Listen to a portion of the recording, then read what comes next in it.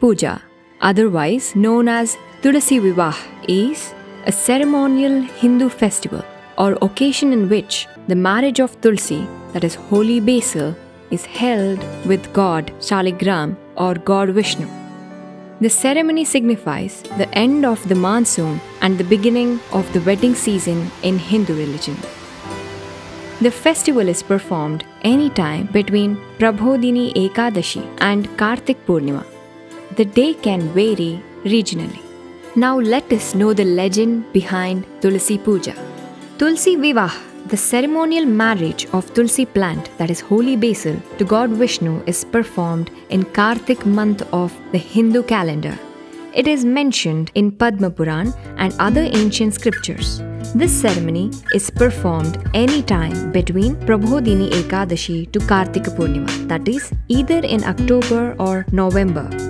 The actual day of Tulsi Vivah differs from one region to another. It marks the end of monsoon season and the start of Hindu wedding season. Now, this is the story of Tulsi and Jalandhar. Tulsi was Vrinda in her previous birth to the Daitya Raja Kalnemi the king of Mathura. A girl was born. Her parents named her Vrinda. She became a devotee of Vishnu from her childhood. When Vrinda grew up, she was married to a demon named Jalandhara. Now, a bit about Jalandhara. In a different context, Lord Shiva got annoyed with Indra and opened his third eye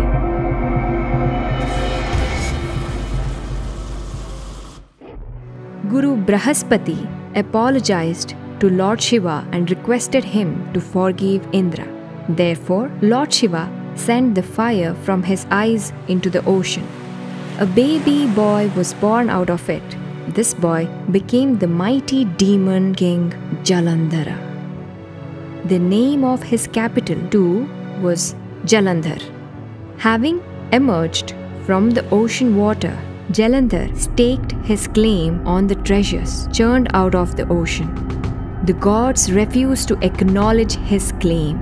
Jalandhar declared war and became a danger to Devas. Nobody could kill him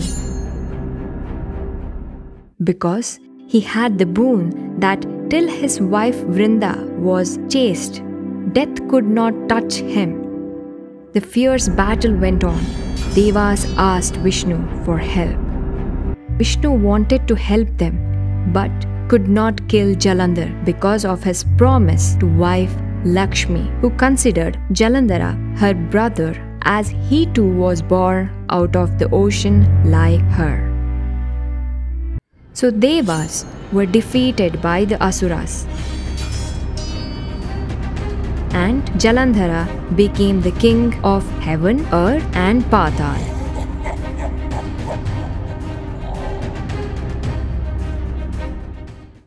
The Devas consulted sage Narada for plan B to be hatched.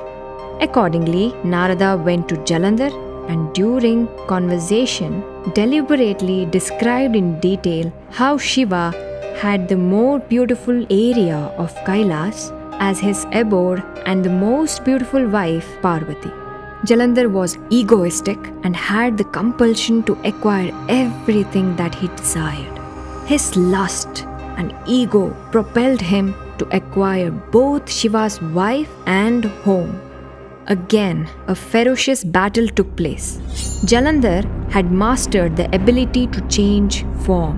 While the war was going on, he disguised himself as Shiva and went to Parvati to trick her.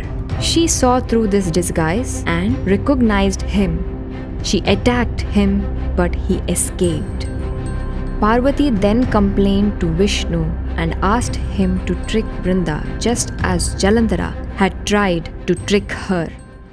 Now, Vrinda determined to commit to a ritual that she would sit and perform puja whenever Jalandhar went for battle.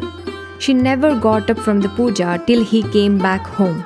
This time too, she was busy performing her puja for the victory and long life of her husband. The Devas requested Vishnu to intervene. Vishnu was in a fix. Vrinda was his devotee. He just could not deceive her. But again, the Devas urged him.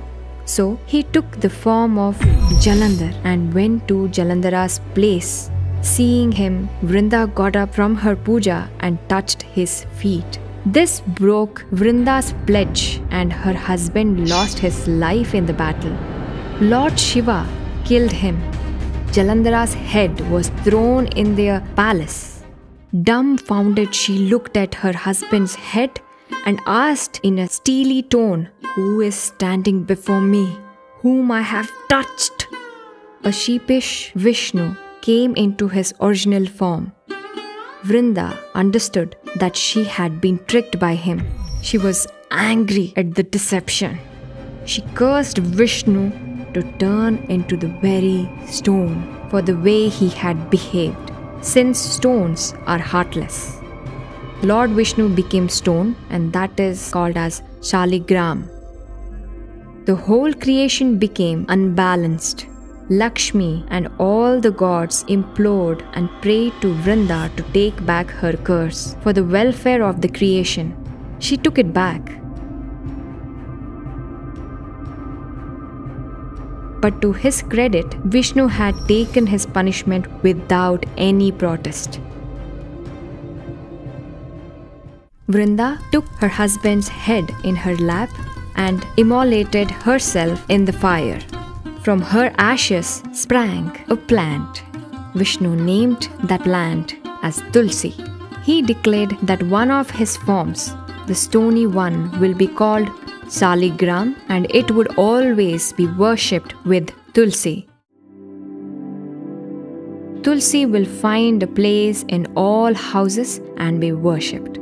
The first offering to him should be of Tulsi, otherwise, he would not accept the rest of the offerings.